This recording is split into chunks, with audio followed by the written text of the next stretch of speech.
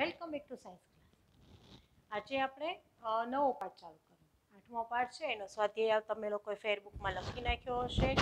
એમાં કાંઈ પ્રશ્ન હોય તો મળશું ત્યારે કહેવાનું છે. બરાબર? અને એની એક નાની એવી ટેસ્ટ પણ તમારી લઈ લઈશ.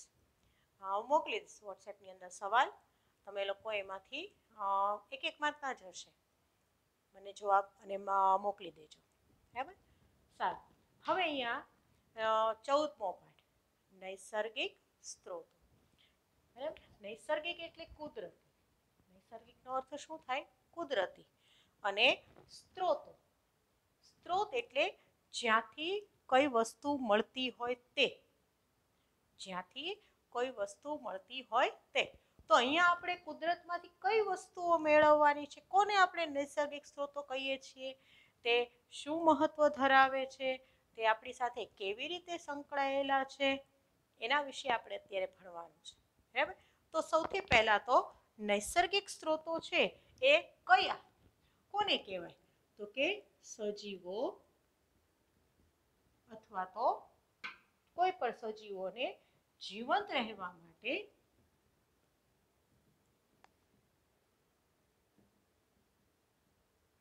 કેટલાક પરિબળોની જરૂર હોય છે.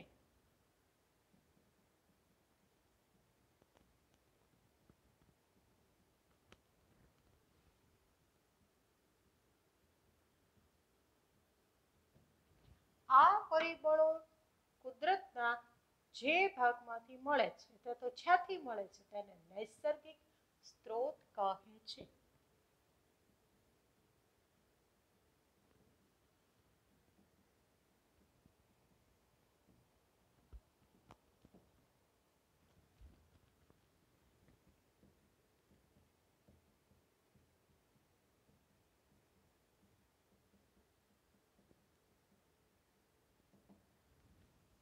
બરાબર હવે આપણને જરૂરી શું હોય?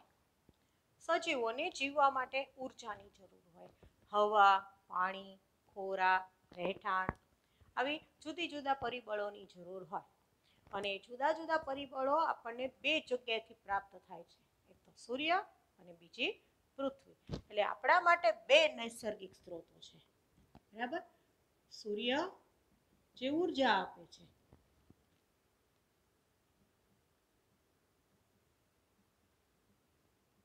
બીજું પૃથ્વી. જે અન્ય પરિબળો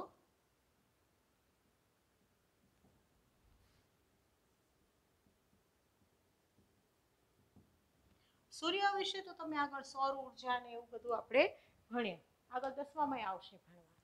આજે આપણે જોવાનું છે પૃથ્વી ઉપરથી કયા કયા નૈસર્ગિક સ્ત્રોતો આપણને પ્રાપ્ય બને છે. બરાબર? તો પૃથ્વી ઉપરથી જે નૈસર્ગિક સ્ત્રોતો પ્રાપ્ય બને છે, પૃથ્વીના ચાર આવરણોમાં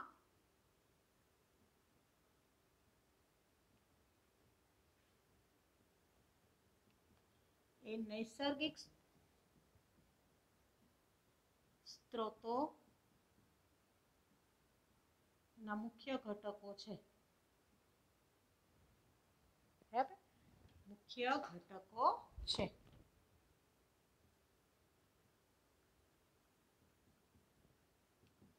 આવા ચાર આવરણો છે, પૃથ્વીના ચાર આવરણો. એમાં પહેલું આવરણ છે મૃદાવરણ બરાબર? મૃદાવરણ મૃદાવરણ એટલે જમીનનો પોપડો. એટલે જમીનની ઉપર આવેલું સખત આવરણ. અથવા બીજી રીતે કહીએ તો કે ભૂમિ એટલે કે પૃથ્વી પરનું સૌથી ઉપરનું કવચ. જે ભૂમિ ધરાવે છે. આખી પૃથ્વીની. બરાબર? એટલે પહેલું છે મૃદાવરણ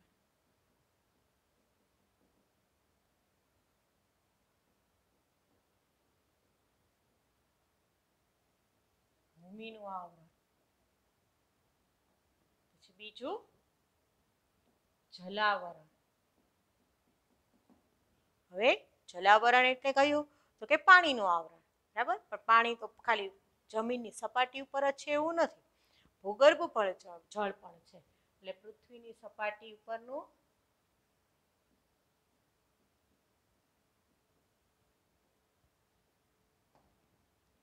પંચોતેર ટકા પાણી તથા ભૂગર્ભ જળ. એ શું છે? જલાવરણ છે. બરાબર? ત્રીજું વાતાવરણ. તો પૃથ્વી ફરતે ચાદર કે કામળાની જેમ જે આવરણ રહેલું છે, એટલે કે પૃથ્વીને ચાદર કે કામળાની જેમ જે આવરી રાખે છે, ઢાંકી રાખે છે, એ હવાના બનેલા આવરણને વાતાવરણ કહેવાય.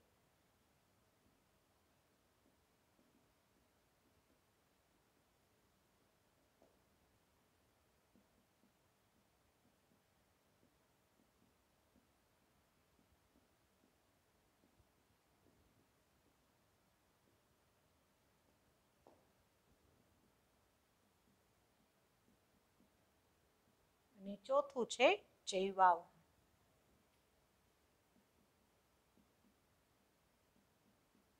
એને જીવાવરણ પણ કહેવાય, બરાબર?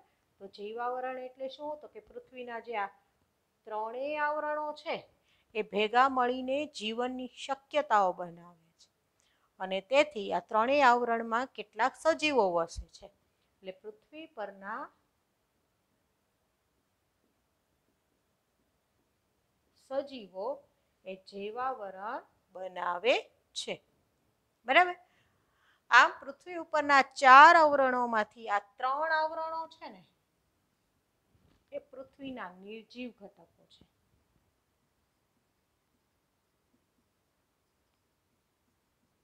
જ્યારે જૈવાવરણ કેવું છે?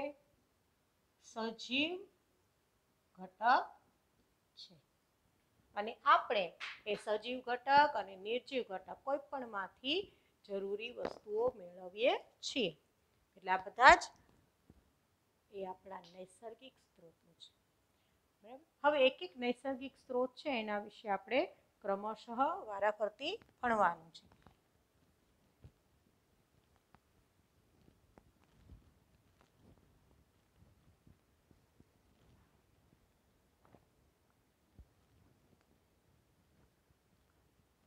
આટલું નોંધી નાખજો, બે સવાલ છે. નૈસર્ગિક સ્ત્રોત કોને કહે છે અને પૃથ્વી ઉપર તે ક્યાં ક્યાં છે?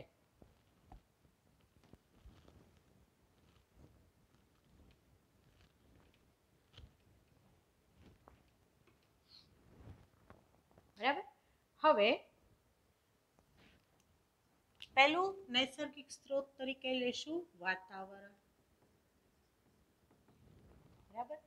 વાતાવરણ છે, એમાં મુખ્યત્વે શું રહેલું છે? તો કે હવા. હવા. હવામાં શું રહેલું છે?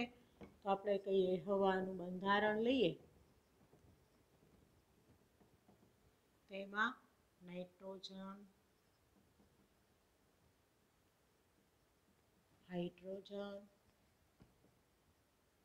oxygen carbon dioxide. જેવા વાયુઓ. પાણીની બાષ્પ.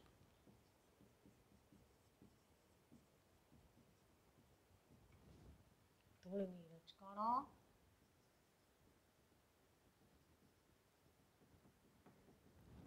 કેટલાક સજીવો.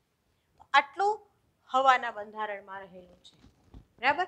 આ વાયુઓ છે, એ વાતાવરણ એમાં મુખ્યત્વે નાઇટ્રોજન વાયુ સૌથી વધુ પ્રમાણમાં છે. તમે એનું લખી શકો પ્રમાણ કે નાઇટ્રોજન અઠ્યોતેર ટકા, ઓક્સિજન એકવીસ ટકા અને બાકીના વાયુઓ એક ટકા.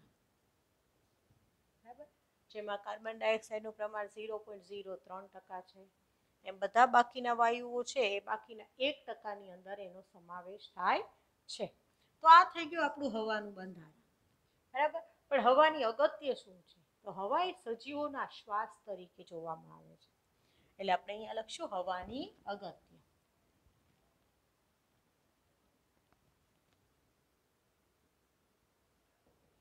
બરાબર એમાં સૌથી પહેલાં હવામાં રહેલા ઓક્સિજન વાયુની અગત્ય શું છે એ લખીએ.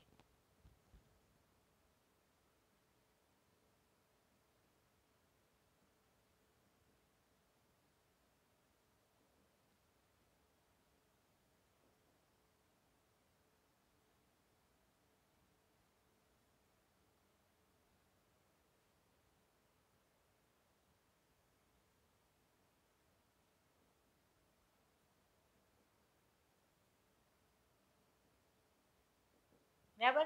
કયા ઉપયોગો છે? તો પહેલો ઉપયોગ છે એનો શ્વસન માટે. શ્વસન એટલે શું? તો કે આપણે છે ને બધા સામાન્ય રીતે એવું સમજે છે. આ શ્વસન નહીં, એને શ્વાસોશ્વાસ કહેવાય. અંદરને હવા લેવી એને શ્વાસ, અને હવાને બહાર કાઢવી એને ઉચ્છ્વાસ. આ શ્વાસોશ્વાસ એ પ્રક્રિયા છે. બરાબર? આ પ્રક્રિયા દરમિયાન આપણે હવા ફેફસામાં ભરીએ છીએ. અને ફેફસાની અંદર રુધિર કેશિકાઓ એ હવામાંથી ઓક્સિજન લે છે. કાર્બન ડાયોક્સાઇડ બહાર કાઢે છે. અને હવા જ્યારે બહાર નીકળે ત્યારે એમાંથી જેટલો લઈ શકાય એટલો ઓક્સિજન રુધિરમાં પ્રવેશી જાય છે. અને રુધિરમાં રહેલો કાર્બન ડાયોક્સાઇડ એટલા જ પ્રમાણમાં મુક્ત થાય છે. અને એ કાર્બન ડાયોક્સાઇડ આપણે ઉચ્છવાસ દ્વારા હવા સાથે શરીરની બહાર ધકેલી દઈએ છીએ. બરાબર? હવે ઉપયોગ જે ઓક્સિજન શું કામ લઈએ છીએ એ સમજવાનું છે. તો યુકેરિયોટિક કોષ, આપણે પાંચમા પાઠની અંદર ભણ્યા કે સજીવો છે એ કોષોના બનેલા છે અને કોષો મુખ્ય- મુખ્યત્વે બે પ્રકારના છે. યુકેરિયોટિક કોષ અને પ્રોકેરિયોટિક કોષ. પ્રોકેરિયોટિક કોષ એટલે આદિ કોષ, કેન્દ્રીય કોષ. અને યુકેરિયોટિક કોષ એટલે સુકોષ કેન્દ્રીય કોષ.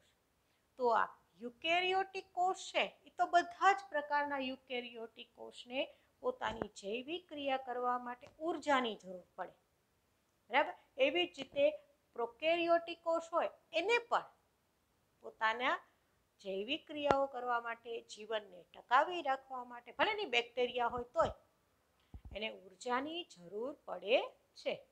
આ ઊર્જા મેળવવા માટે સજીવો પોષક દ્રવ્ય તરીકે ગ્લુકોઝ, જે કાર્બોદિત પદાર્થ છે, એનું વિઘટન કરે છે અને એના વિઘટન માટે ઓક્સિજનનો ઉપયોગ કરે છે. આમ ઓક્સિજનનો ઉપયોગ કરી ગ્લુકોઝનું વિઘટન કરી અને ઊર્જા મેળવવાની જે પ્રક્રિયા છે ને, એને શ્વસન કહેવાય. બરાબર? ઓલું શું કહેવાય? શ્વાસોશ્વાસ. એમાંથી ઓક્સિજન લીધો, ઓક્સિજન કોષો સુધી પહોંચે અને દરેક કોષ પોતાની જૈવિક ક્રિયા કરવા માટે એના કોષરસમાં રહેલા ગ્લુકોઝનો ઉપયોગ કરી કણાભ સૂત્રની અંદર એનું વિઘટન કરી અને ઊર્જા મેળવે એને શ્વસન કહેવાય. એટલે કે પોષક દ્રવ્યોમાંથી ઊર્જા મુક્ત કરવાની ક્રિયાને શ્વસન કહે છે. બરાબર? તો અહીંયા સજીવોના શ્વાસ તરીકે ઓક્સિજન વાયુ કેવી રીતે અગત્યનો છે એ આપણે લખીએ. કે પ્રોકેરિયોટ, કેટલાક બધા પ્રોકેરિયોટિક સજીવો છે નહીં કેમ કે એનામાં કણાપસૂત્ર આવેલું હોતું નથી, એ ઓક્સિજન દ્વારા ઓક્સિડેશન કરી અને ગ્લુકોઝનું વિઘટન કરવા સક્ષમ હોતા નથી. જેમ કે કેટલીક ફૂગ અને બેક્ટેરિયા, એ તો ઓક્સિજનની હાજરીમાં મરી જશે. બરાબર? એમ એનું જ વિઘટન થઈ જાય છે. એનું જ ઓક્સિડેશન થઈ જાય છે. પણ કેટલાક પ્રોકેરિયોટિક સજીવો, બધાની કેટલાક પ્રોકેરિયોટિક કોષ અને બધા યુકેરિયોટિક કોષ.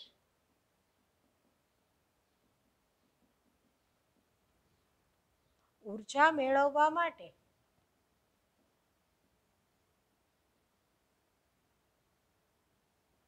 ગ્લુકોઝ જેને શર્કરા પણ કહેવાય. ગ્લુકોઝનું ઓક્સિડેશન કરે છે. કોની હાજરીમાં? ઓક્સિજનની હાજરી.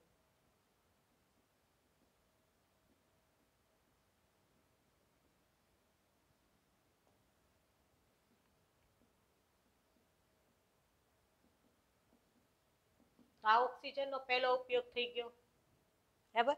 કે સજીવો ઓક્સિજન ક્યાં વાપરે છે? તો કે ભાઈ શ્વાસ લેવા માટે એ શ્વસન માટે વાપરે છે. હવે ઓક્સિજનનો બીજો ઉપયોગ છે દહન માટે. કોઈ પણ વસ્તુની ઓક્સિજન સાથેની પ્રક્રિયાને જ દહન કહેવાય. બરાબર? એટલે દહન માટે પછી એવી જ રીતે આપણે રસોડામાં રસોઈ કરવા કે વાહનોમાં જે ઈંધણ કે બળતણનો ઉપયોગ કરીએ છીએ, એનું દહન કરવા માટે ઓક્સિજનનો ઉપયોગ કરીએ છીએ. એટલે કે રસોઈ કરવા કે વાહનો ચલાવવા ઈંધણ કે બળતણના દહનમાં ઓક્સિજન ઉપયોગી છે આપણે બે સાવ સામાન્ય ઉપયોગો લખ્યા કે જે દરમિયાન સજીવો ઓક્સિજન નો ઉપયોગ કરે છે અને ઓક્સિજનનો મુખ્ય સ્ત્રોત શું છે? હવા. એટલે નૈસર્ગિક સ્ત્રોત તરીકે હવાના ઉપયોગોમાં પહેલો ઉપયોગ ઓક્સિજનનો ઉપયોગ થઈ ગયો. બીજો ઉપયોગ આપણે લખશું કાર્બન ડાયોક્સાઇડનો ઉપયોગ.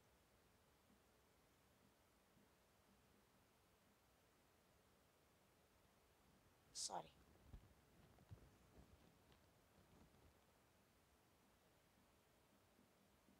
એમાં પહેલો પ્રકાશ સંશ્લેષણ.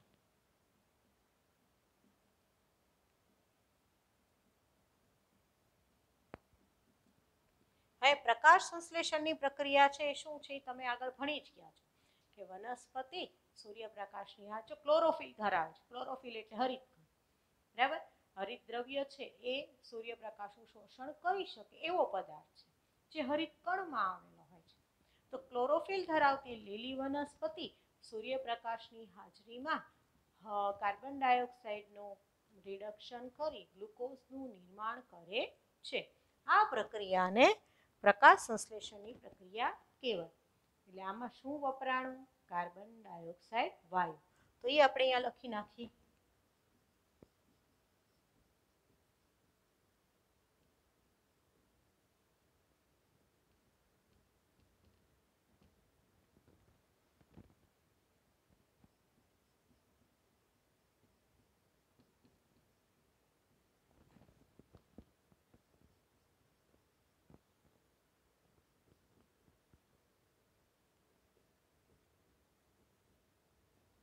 કાર્બન ડાયોક્સાઇડ વાયુનો ઉપયોગ કરી ગ્લુકોઝ બનાવે છે.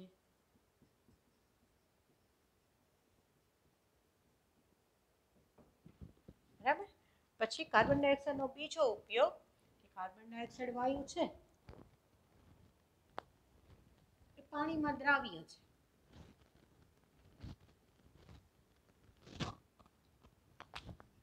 એનો બીજો ઉપયોગ છે કે પાણીમાં દ્રાવ્ય જે કાર્બન ડાયોક્સાઇડ વાયુ હોય ને એને કાર્બોનેટ કહેવાય. બરાબર? તો પાણીમાં દ્રાવ્ય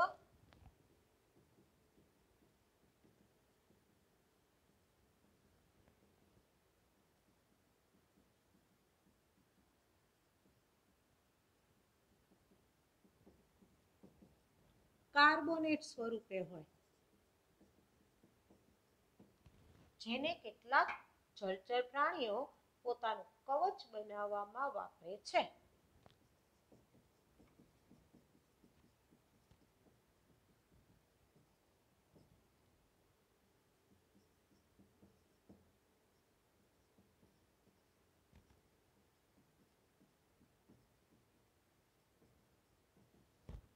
બરાબર? એટલે શંખલા, છીપલા, એની ઉપર જે સખત કવચ હોય ને, કેલ્શિયમ કાર્બોનેટનું બનેલું હોય. આ કેલ્શિયમ કાર્બોનેટ બનાવવા માટે એ હવામાં દ્રાવ્ય, કાર્બન ડાયોક્સાઇડ વાયુનો ઉપયોગ કરે છે.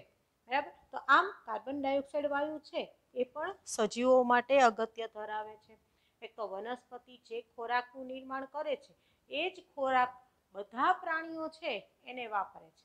કેમ કે પ્રાણીઓ પાસે આવી રીતે ખોરાક બનાવવાની ક્ષમતા રહેલી હોતી નથી. એટલે વનસ્પતિ સિવાયના બાકીના બધા જ સજીવો, પ્રાણીઓ એ ખોરાક માટે વનસ્પતિ ઉપર પ્રત્યક્ષ કે પરોક્ષ રીતે નભે છે. એટલે બધા જ સજીવો માટે ખોરાક ઉપલબ્ધ કોણ કરાવે છે? તો કે વનસ્પતિ.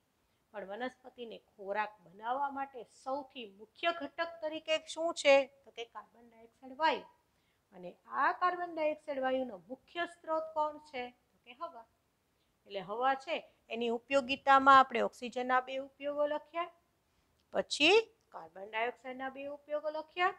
હવે એમાં ત્રીજો ઉપયોગ લખીએ છીએ આબોહવાના નિયંત્રણ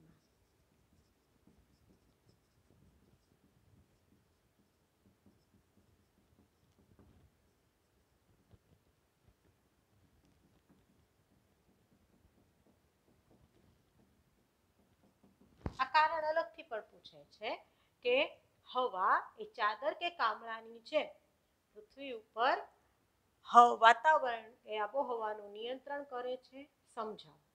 બરાબર? તો હવા છે. ઉષ્માની મંદ વાહક છે.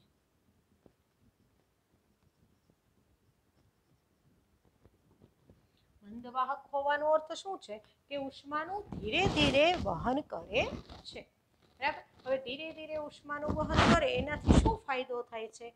તો પણ એ પણ સમજવાનું છે કે હવા એ ઉષ્માની મંદ વાહક છે. જેથી સોરી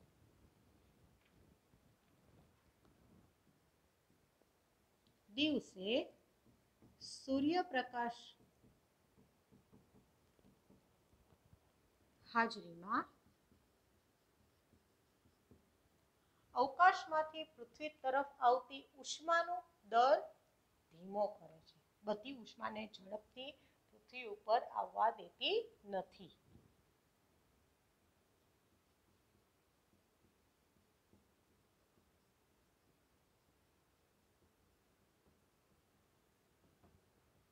તમને ખબર જ છે ઓઝોન વાયુ છે તો પારજામી કિરણોને ઉપર જ રોકી લે છે. પૃથ્વી સુધી પહોંચવા જ દેતા નથી. અને બાકી જે પ્રકાશ આવે છે, એમાંથી ઉષ્મા છે, એ વાતાવરણમાં રોકાઈ જાય છે. કેટલાક પ્રમાણમાં કાર્બન ડાયોક્સાઇડ વાયુ છે, એ આ ઉષ્માનું શોષણ કરી લે છે. એટલે દિવસ દરમિયાન ઉષ્માનું પ્રમાણ જળવાઈ રહે છે, બરાબર? એ જળવાઈ રહેવા માટે પણ જવાબદાર કોણ છે? વાતાવરણ, હવા. રાત્રિ દરમિયાન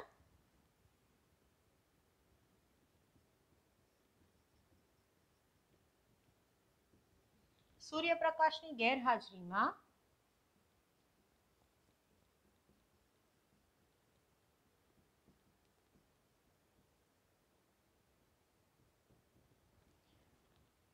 હવા ઉષ્માને વાતા અવકાશમાં જતી રોકવાનો દર પણ ઘટાડે છે.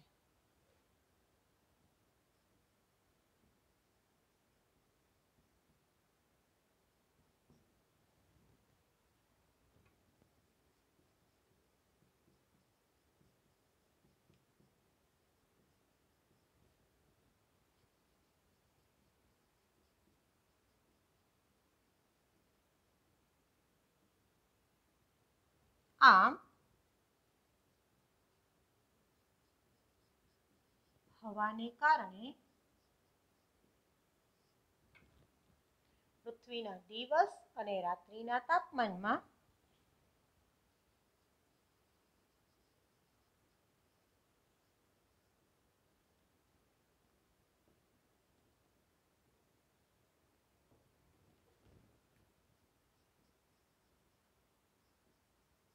જળવાઈ રહે છે.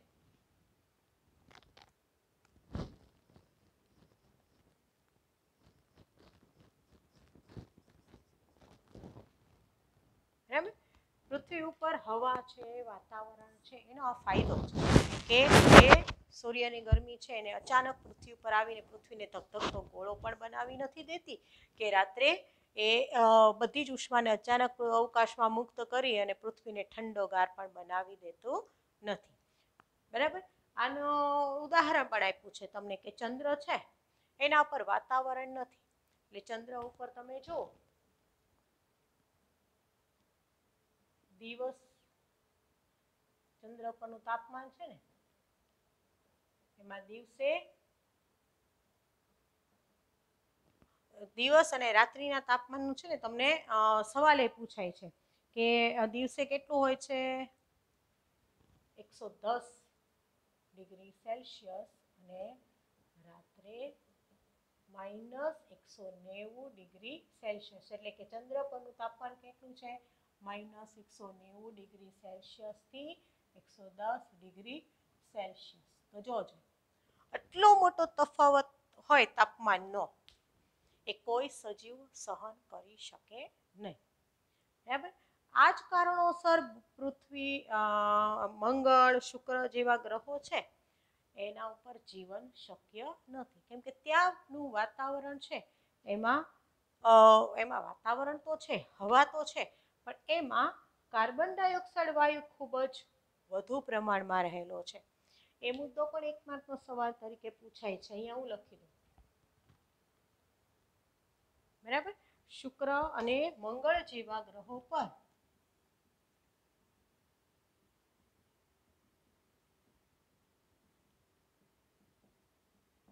વાતાવરણ તો છે, પણ વાતાવરણમાં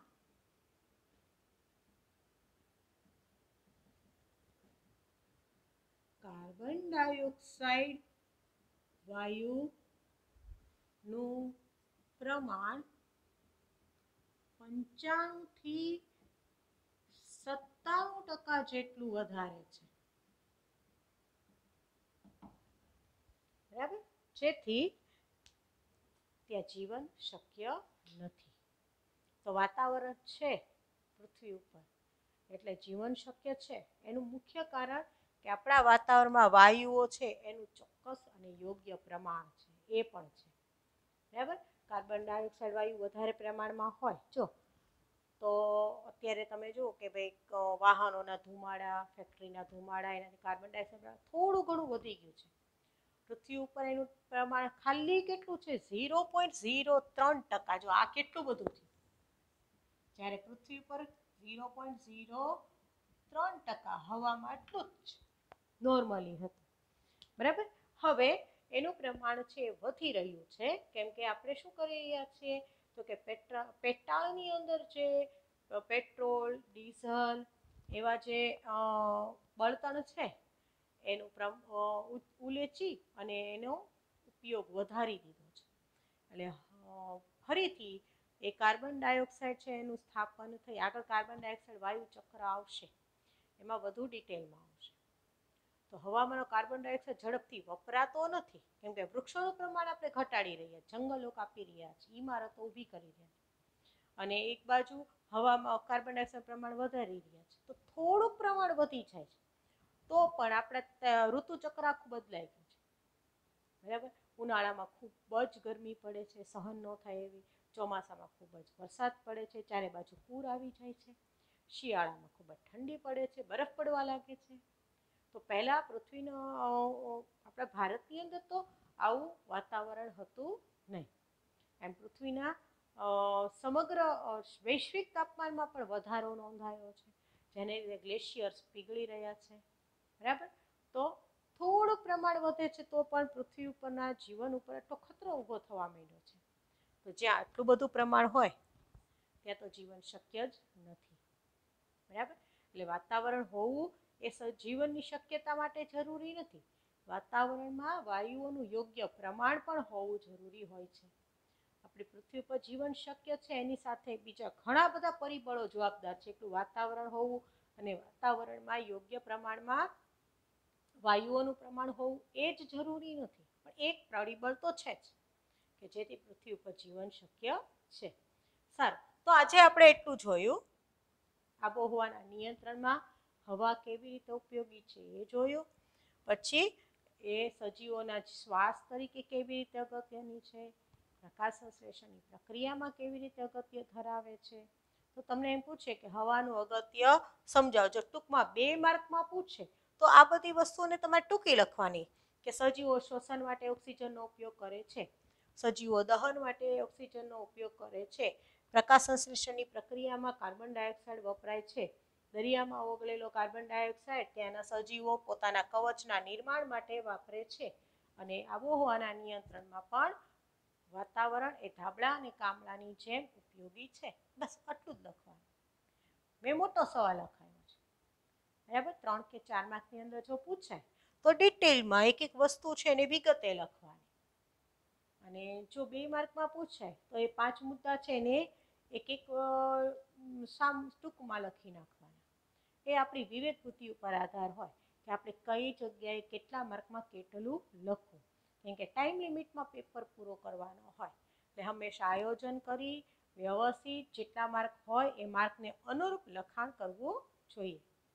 સારું, તો આજે આપણે એટલું રાખીએ અને પછીના પીરિયડની અંદર આપણે પવન વિશે ભણશું. એટલે હવાવાળો મુદ્દો હજુ પૂરો નથી થતો. બરાબર? પવન વિશે ભણશું. Thank you